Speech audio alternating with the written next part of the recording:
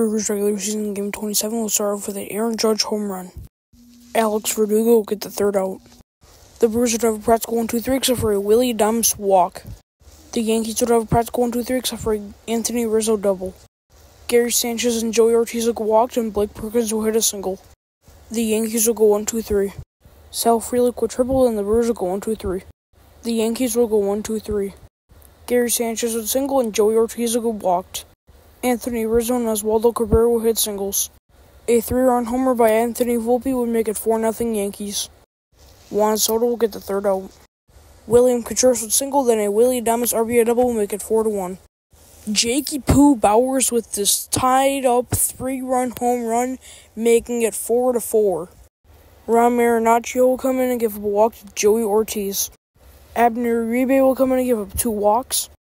Then an RBI single by Gleyber Torres would make it 5 to 4. Jose Trevino would make it 7 to 4.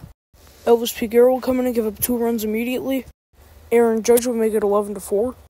Alex Verdugo will get the third out. Ian Hamilton will come in and give up a single to Jake Bauers. An RBI walk by Blake Perkins would make it 11 to 5. Bryce Turang will get the third out. Janson Junk will come in and give up three hits plus one run. An RBI sac fly by Jose Trevino would make it 13 to 5 Yankees.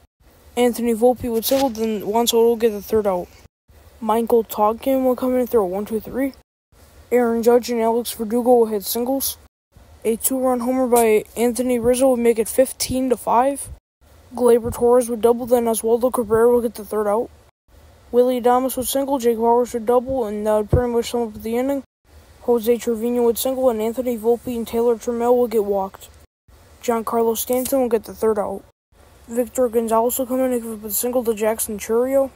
And to end out the game, Joey Wiemer will pop up to third for the third out. The Brewers lose big time once again, 15 to 5. The record is now 17 and 10, and the Brewers' respective Brewers player of the game goes to Jake Bauers for his three-run homer.